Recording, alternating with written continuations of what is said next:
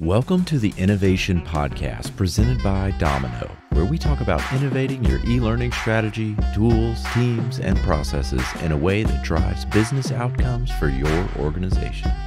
Hello, and welcome to the inKnowvation Podcast presented by dominKnow, where we talk about innovating your e learning strategy, tools, teams, and processes in a way that drives business outcomes for your organization. Today, my guest is Paul Schneider, PhD, he is the Senior VP of Business Development at dominKnow. And today we are talking about learning, content creation, collaboration, and distribution.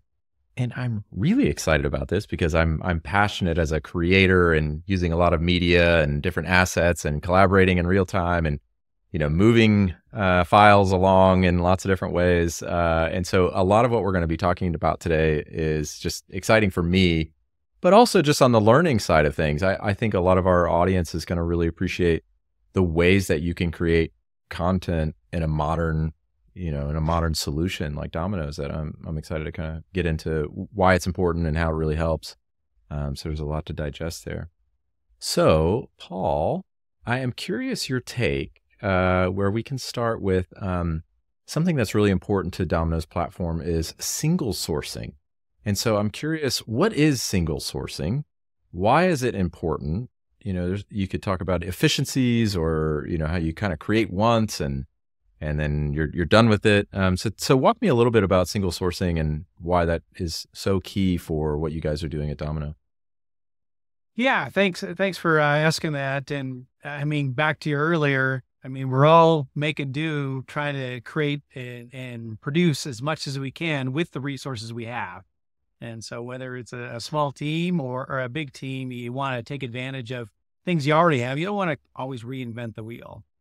And single sourcing is really born out of that concept or idea. Um, it, it's something really popular in the I call the documentation world, where they're documenting things for different uh, cases there. And um, in the learning world, it's a little bit less popular just because there just haven't been that many tools that truly support that idea. And it, it's the idea of, hey, I have a single document, let's just say content piece, and I want to be able to leverage it in multiple situations. Um, and of course, one way to do it is, hey, I just copy it and then adjust it for those situations. Of course, if that's what you do, then the next time when you go to update it, because most documents, most content is living, you're changing it to come back into it. That means that you have to all of a sudden three, four, how many of the places that you put that into, you have to update that. And that creates an exponential uh, effect in terms of the amount of maintenance. And so it's the idea of, hey, could I have a document that dynamically adjusts or changes as for those different situations? And when we think of learning, it really falls, I find, into two different key areas.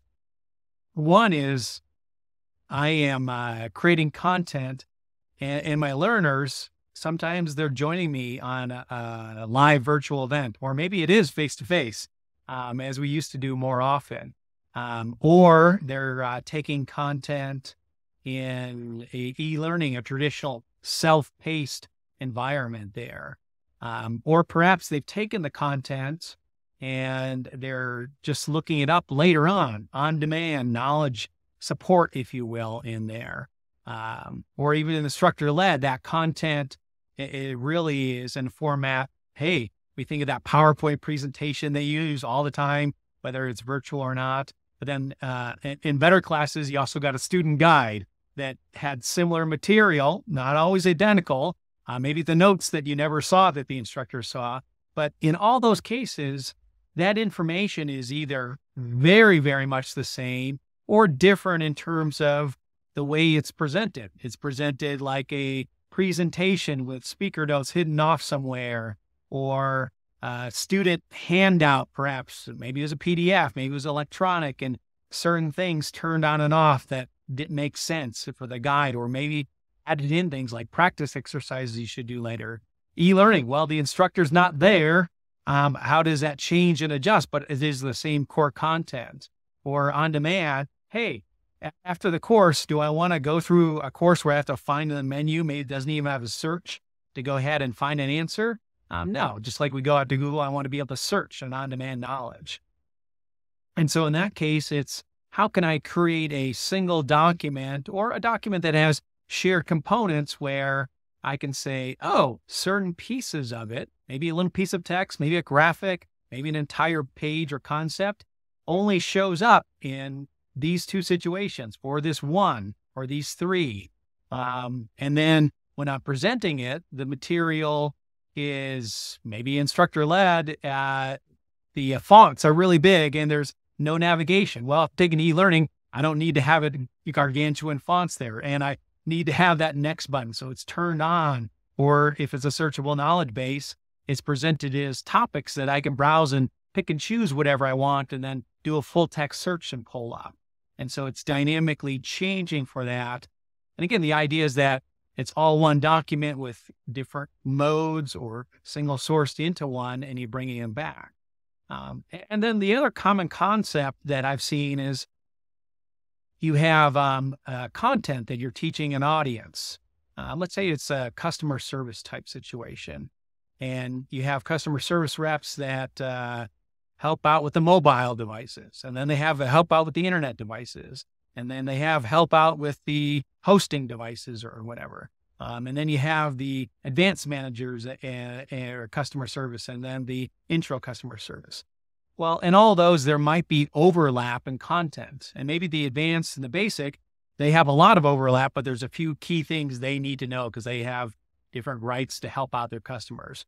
And in the one that's the internet and mobile, eh, they're different, but they have overlapping pieces. Well, the single sourcing idea, you can reuse elements. And so maybe you have two documents that have shared contents between them. So if you update those shared contents, both are updated. And then within those two, you have your audience of, hey, I got the, you know, advanced or the expert customer service rep for mobile and then the basic. Well, there's a lot of change, a lot of the similarities there. So like the last one, you have different things turned on and off. And maybe you don't have different modes. They're all getting through an e-learning format, perhaps. But when I log in and I know that I'm the expert or the system itself knows they're the expert, then it's showing me that information. And then as the content creator and developer, of course, you need to be keeping all these things in mind because you have all these audiences you're teaching. You can go ahead and create that in an efficient way. And when you can't do that, I mean, usually you end up dumbing down the content. So it just meets everyone. And either people need to ignore things or they read different documents to get their unique piece that was about page five, or you end up duplicating a lot of work, which is probably even more common, and you have it in all sorts of different formats.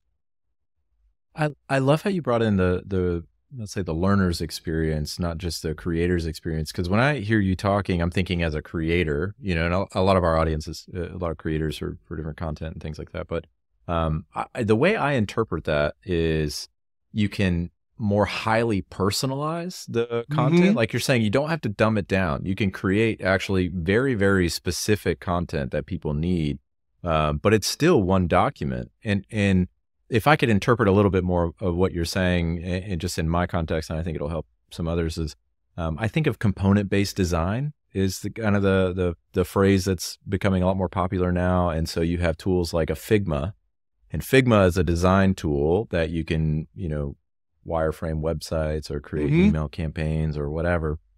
But you essentially create components uh, where they're with individual variables. And so if you were to create a presentation, say, you could create variables of like heading style or uh, you know logo type or color or something and you can turn off those specific variables for specific slides if you needed to do that and uh, or turn them on. And so you can create, like you're saying, one document that is living and breathing, that's got all these different variables to it, depending on who you're talking to. Is that, am I understanding yeah, that? You're on correctly? the same target. And I say single sourcing, and sometimes it's named different ways. I mentioned documentation been used for years, but yeah, yeah you're seeing it in all sorts of different tools. I mean, programmers yeah, do some yeah. of that from a component standpoint, but yeah, and th- that personalized learning, uh, or as a phrase I've heard before, personalized learning at scale, mm. um, you know, ties into there. And, and, I like to think it's more, it's personalized about Paul or, or Brandon. It's personalized about your role that you fit into there right. and, and fit into those. And, and in, in some ways, people have done this already, even though they didn't have tools that were designed to make it easier to do this. is they had variables and they would use variables, which were basically, Hey, I am X or I am Y, and it would jump and turn on into different things. And that's mm-hmm. great. And for folks who know that, and that enabled them to do some of this uh, right within the solution they had, but making it easy so you don't even have to understand that concept. You just say, I am role X, I am role Y, and you tag it and bring it in. And that makes it easy no matter who's coming in. And it just really teaches the concept of, hey, you're building this with everything in it. And when you get to this spot, show the spark that comes in there and really speaks to them. And I mean, again, I'm glad you brought up learner because it is about the learner at the end of the day. Mm-hmm. All of our learners are busy, just like the content creators are, and they don't have time or desire to see things that aren't focused on what's going to enable them to go ahead and succeed and, and really expand in their role and be a success and perhaps move to their next role.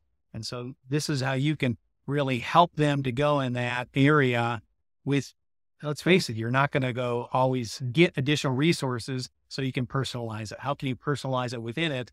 And this is that personalization at scale, that seamless sourcing idea. Because as we talked about before, if you create five documents and then later on you have to update all five instead of just tweak one, and then they're magically, if you will, already updated across.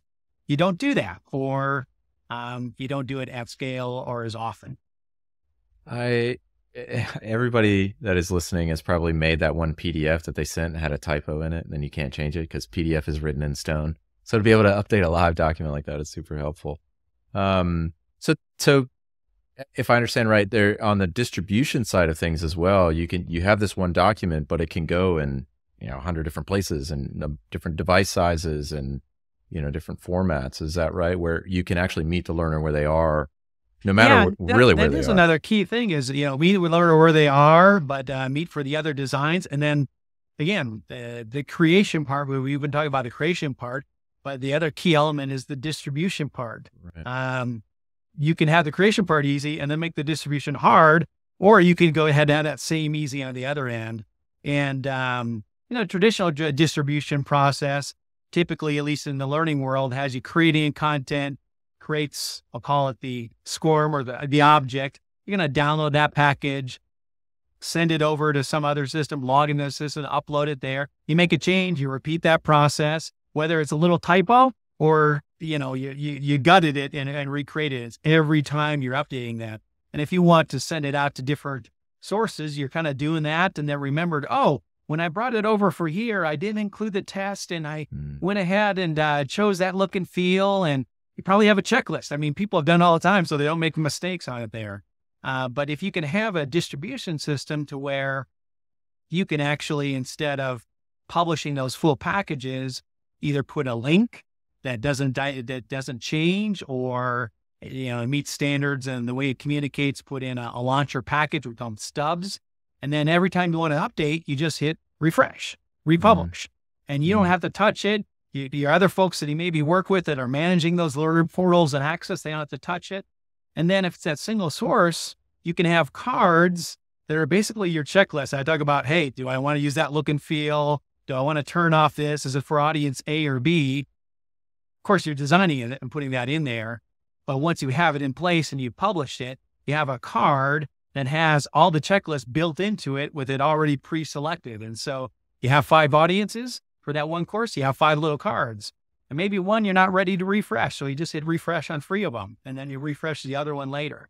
But yeah, that's that whole idea of not having to redistribute it to all those multiple locations. Uh, to make sure you check off your checklist. And when you're out sick or on vacation, that someone forgets your checklist and heaven forbid sends out the wrong stuff there or they don't send it out because they're afraid they're going to go ahead and send out the wrong stuff. And yeah, making that process really, I mean, sometimes we've worked with folks and somebody, 90% of their job was loading and managing those packages. Mm. And uh, mm. believe me, that wasn't why they were hired. It just did end up being that way. And they did have other things. It wasn't that they're going to lose their job, but when they were able to get that, that went down to, you know, less than five, 10% you know, initial load and send the manager. And they were able to start doing all the other things that they wanted to do to help move the organization forward that they just couldn't because they were, in the end, they were in a lot of busy work from that distribution standpoint.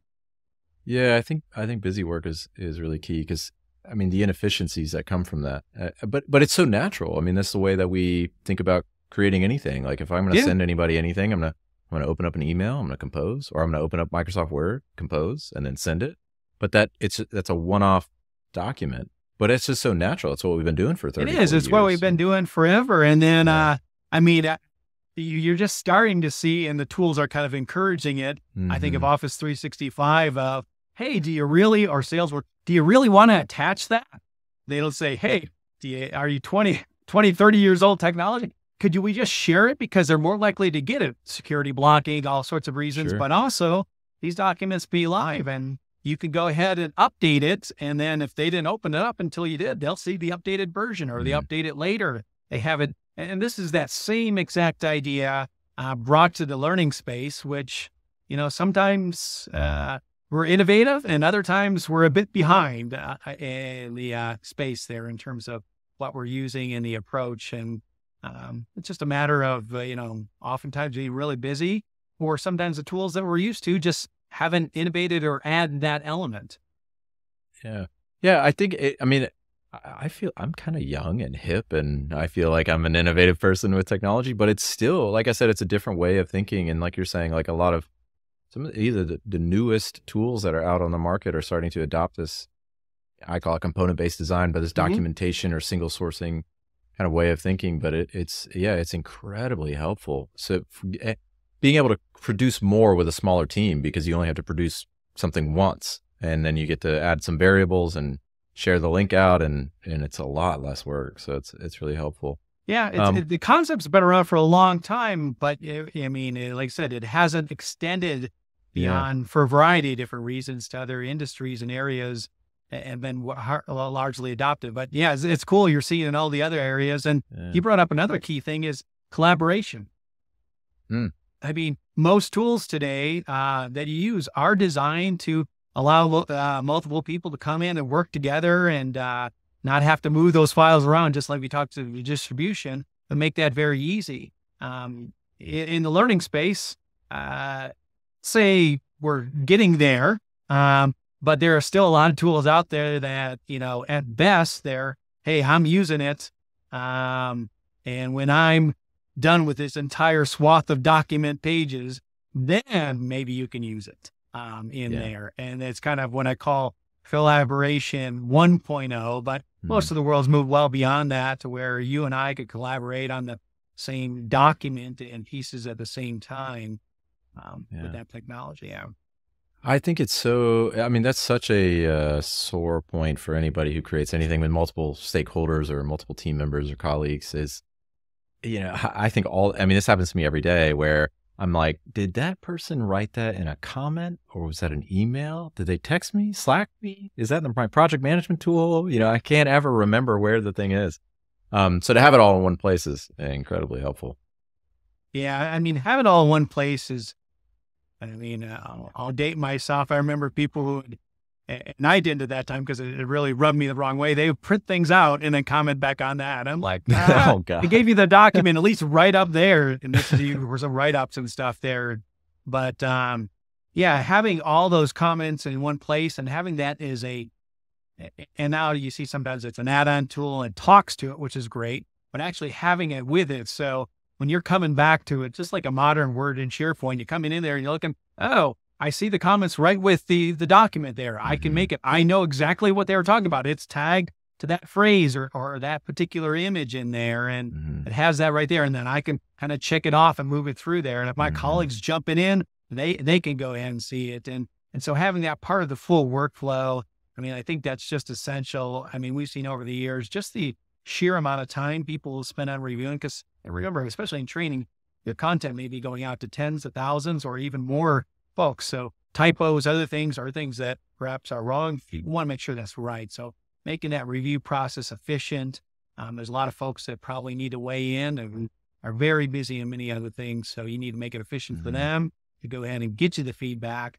And, and so you don't have to, you know, ask them 10 questions later because I didn't understand what you were talking about on that screenshot of the page that was, you know, long and you said something else. I was like, was it that phrase or that image or whatever else in there? Mhm. and then they don't have any context to see if you have to go back and forth. But having it all in one spot, lifesaver.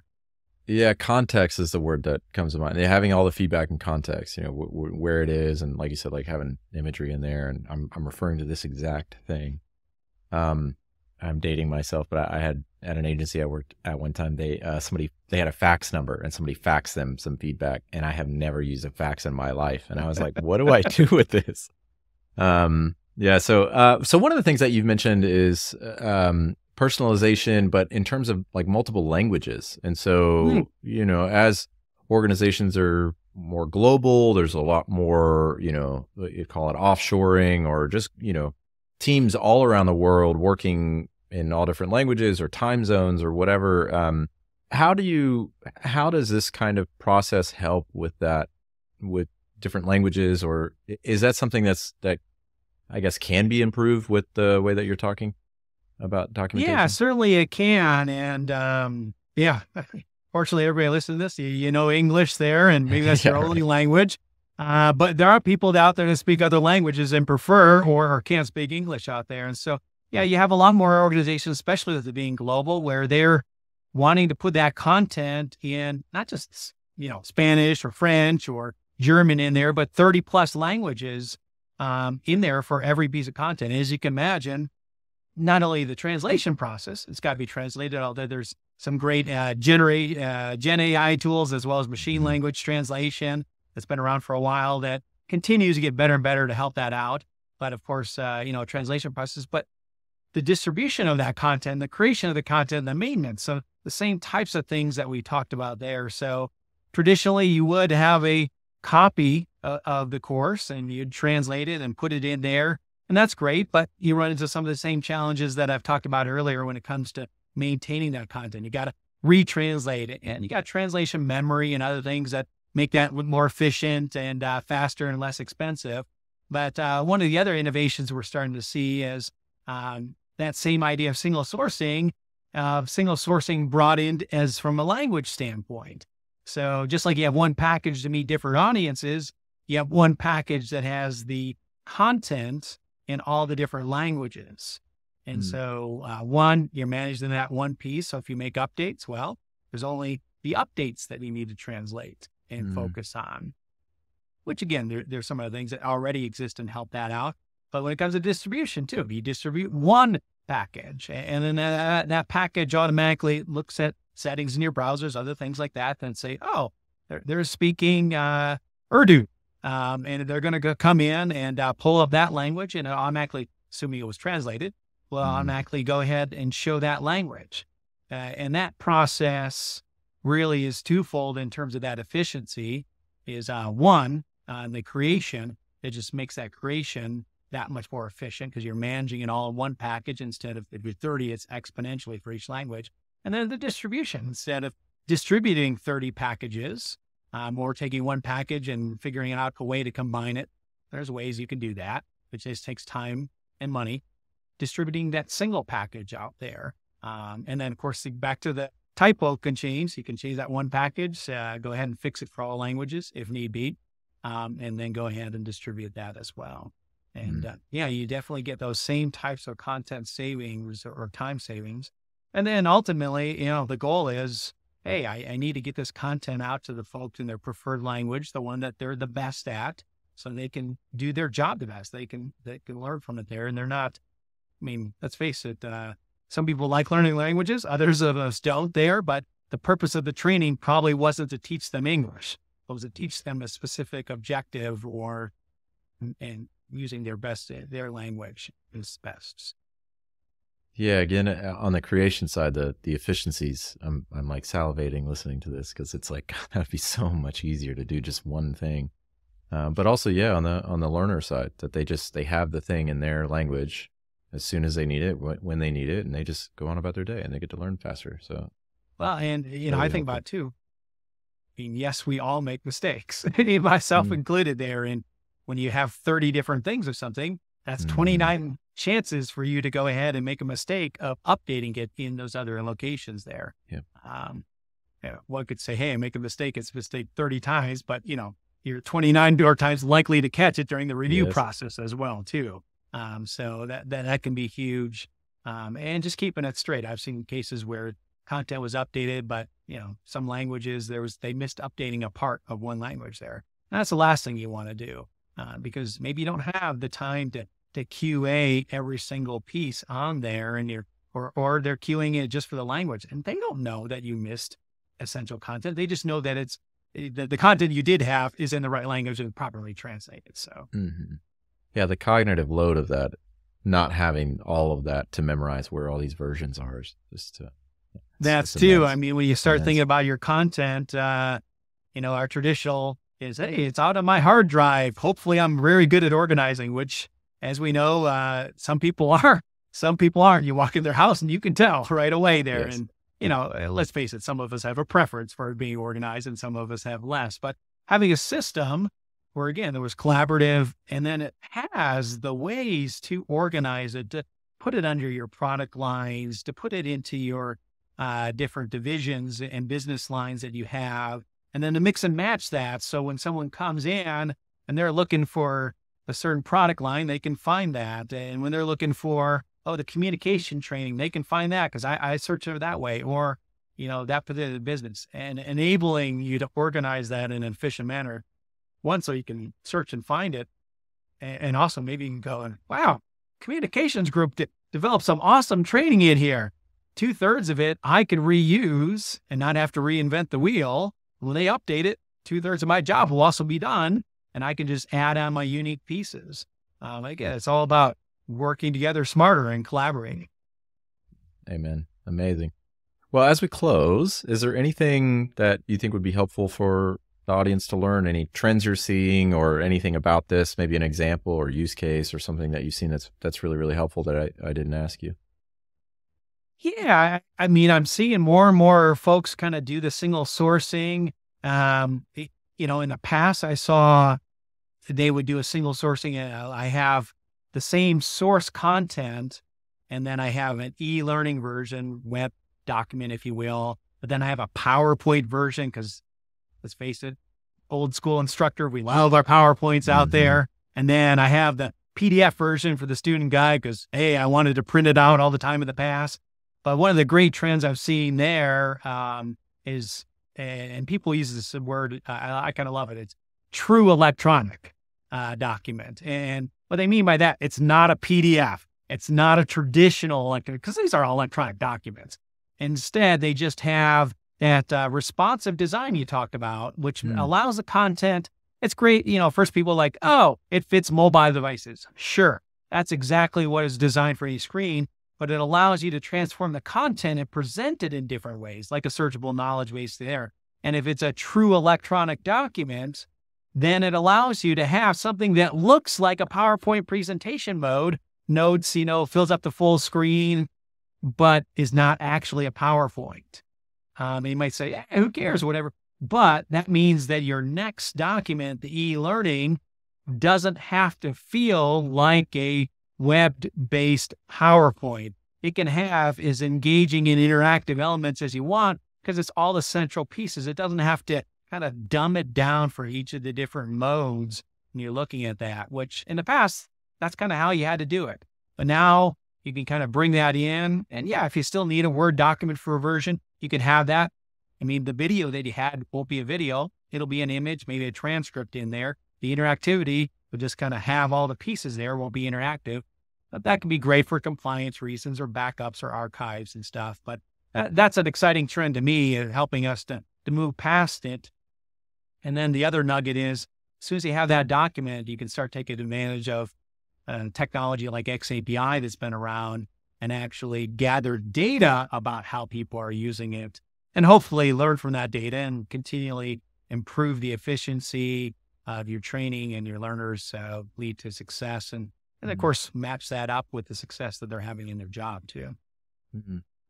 I, on the learning side, I, I can see uh, you know, I'm sure everybody listening has scanned a QR code at a restaurant. You get a PDF and you got to zoom in or turn your phone to the side or whatever because the, the PDF doesn't, you can't see it. It's not yep. responsive. You gotta, you gotta, and it, same thing with learning content, PowerPoint or PDF, yep. however it is. So, yeah, it's kind of traditional, amazing. not meant for that. And then you've been to the other restaurants and there was a web page and yeah, it looked great. And you know, no matter what your eyesight, you really didn't have to pinch and zoom everything. And Mm-hmm. n- no one likes that, you know. And Mhm. um, I mean, that's a great single example all of us have experienced uh, that kind of allows you to bring that in.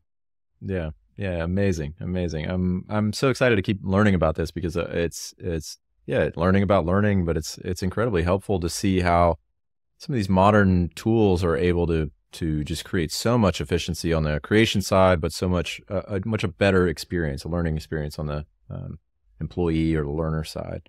Um, so, Paul, I'm so thankful for you to share your wisdom, your expertise in this area to help you know teach us what's going on in the world and and the world of learning. And uh, I'm excited to keep learning about it. So, thank you. Thanks for joining us. Thank you for having me, and it's been a real pleasure. And uh, look forward to hearing uh, ideas and comments from folks that I had a chance to listen to this. Yeah, amen. Amen. Well, we will see you guys next time. Cheers.